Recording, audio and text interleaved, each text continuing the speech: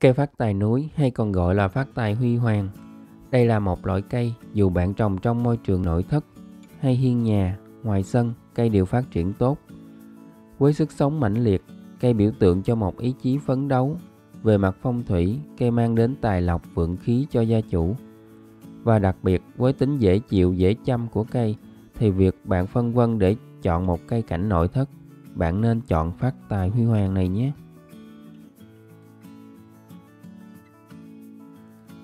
Những chậu cây bạn thấy trên thị trường thường là chậu gồm 3 cây. Hãy chọn cây khỏe mạnh để trồng nhé bạn. Giờ mình tách bầu cây này ra để trồng. Bạn thấy rễ cây dày đặc trong chậu bầu.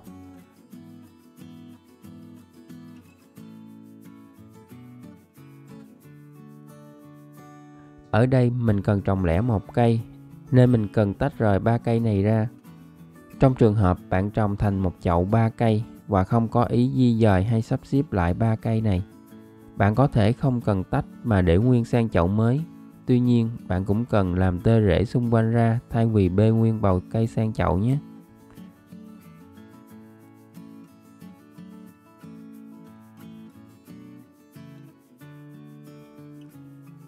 Đất bầu cây bạn thấy toàn là đất thịt nhé bạn. Mình tái sử dụng lại đất của bầu cây. Đồng thời pha thêm hỗn hợp đất thịt pha vào để trồng sang chậu sứ. Trộn đều lên nhé bạn.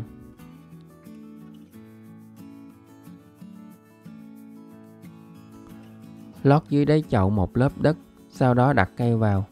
Lót như thế này thì quá nhiều. Đặt cây vào, rễ cây nằm cao hơn miệng chậu. Do đó bạn cần lấy bớt ra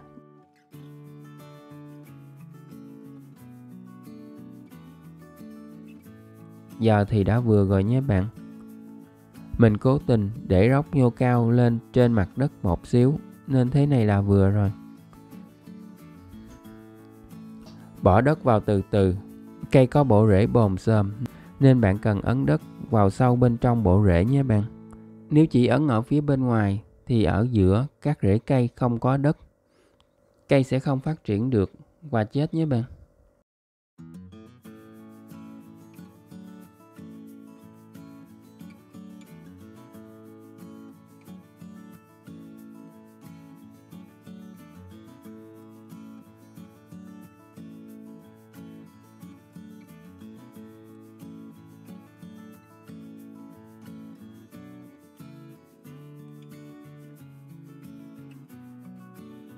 Trồng xong, hãy tưới nước thật đậm cho đất dẻ lại và đồng thời, nếu có nơi nào bên trong rễ còn gỏng thì đất sẽ tuôn vào và lấp đầy nơi ấy. Tưới cũng cần canh chừng đừng để nước tràn ra chậu nhé bạn. Rửa sạch chậu khá cực đấy.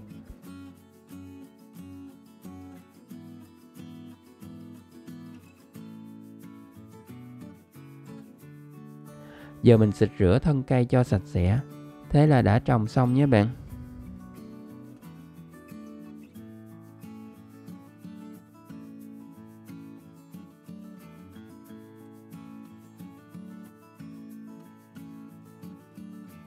Bạn thấy đất mặt chậu cây đã khá khô. Rút chậu ra thì ở đáy chậu vẫn còn ẩm xíu. Chậu ba cây này rễ còn ít, chưa quấn chặt vào nhau lắm, nên việc tách ra dễ dàng.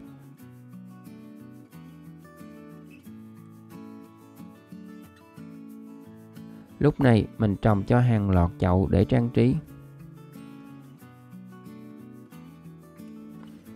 Và đây là nơi đặt chúng.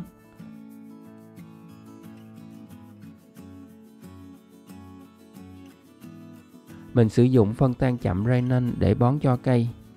Bạn hãy sơ một lỗ nhỏ gần mép chậu và đặt phân vào, lắp đất lại. Mỗi chậu bạn nên phân thành 3 lỗ đặt phân vào. Khoảng 2 đến 3 tháng bạn bón một lần. Bạn cũng có thể rải trực tiếp trên mặt chậu. Nếu cây trồng ngoài sân thì bạn không nên rải phân lên mặt chậu nhé bạn. Vì nắng chiếu vào sẽ làm cho lượng dinh dưỡng trong phân bốc hơi, làm giảm hiệu suất của phân. Sau khi trồng nếu bạn đã tưới nước nhiều rồi, thì lần tiếp theo bạn hãy sử dụng chất kích thích ra rễ để giúp cây sinh ra một ít rễ trong môi trường mới. Mình rắc chất kích thích N3M vào nắp hộp cho bạn dễ hình dung ra một lượng sử dụng khoảng bao nhiêu. Chúng tan vào nước khá nhanh.